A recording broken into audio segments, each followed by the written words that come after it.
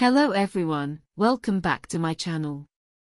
In today's video, we are going to see another part B question with detailed explanation. Let's get started. Before diving into the text, I would suggest reading the question first. Question is, the guidelines inform us that codeine can cause side effects in patients. Now, skim the text to get a general understanding of the topic, the main idea, and the structure of the text. This will help you focus on the relevant information and make it easier for you to locate the answers quickly. Take 30 seconds to look at the text.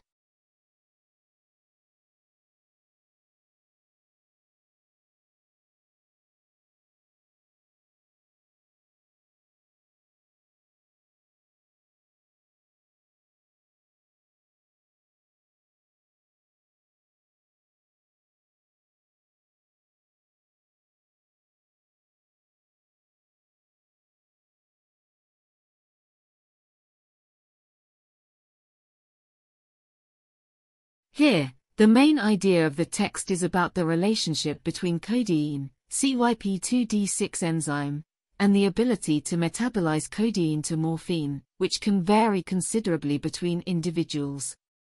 The text also highlights the potential risks associated with ultra-rapid metabolizers and poor metabolizers of codeine, and the need for alternative pain management strategies in the latter case. Another important thing to do is identify keywords in the questions and underline or highlight them. Look for synonyms, antonyms, and related words in the text that can help you locate the information you need.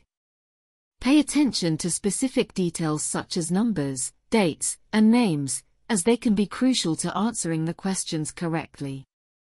Also, be aware of distractors and avoid falling into the trap of choosing incorrect answers that are mentioned in the text but are not directly related to the question.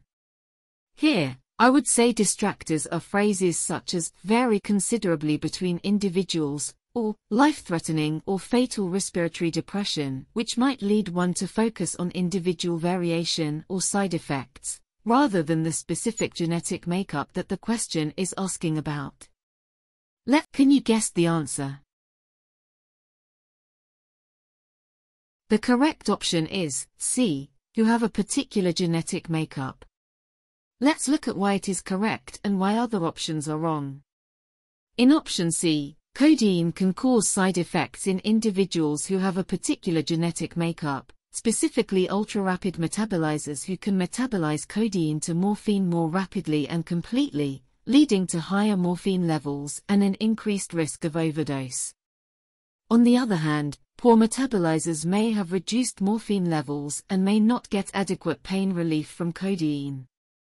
Therefore, genetic testing for CYP2D6 may be necessary before prescribing codeine to identify individuals who may be at increased risk of side effects. Alternative pain management strategies should be considered in these individuals. In option A, codeine can cause side effects in patients with opioid addiction, but this is not specific to opioid addiction and can occur in any patient taking codeine. In option B, taking codeine together with morphine is not recommended as they are both opioids and can increase the risk of respiratory depression, but this is not the only scenario where codeine can cause side effects. I hope this video is useful to you. Please hit the like button, share, and subscribe. We will upload detailed sample questions regularly. Thank you for watching.